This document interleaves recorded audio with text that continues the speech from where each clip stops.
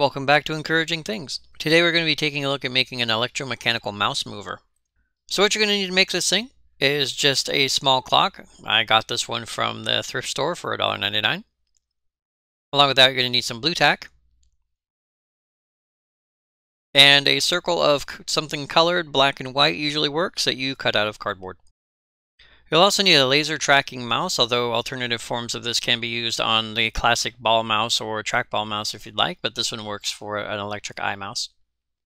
And once you have it all set up, the ticking of the clock will move your mouse once a second. The pattern isn't perfectly random, but sometimes you will get long and short movements, and it'll keep going as long as your clock has power. This is just a short video to challenge myself to make something different, and I think I've succeeded. And I'd like to thank you all for stopping by. Please like and subscribe if you like the content I have here. This is just a really short video to try something new.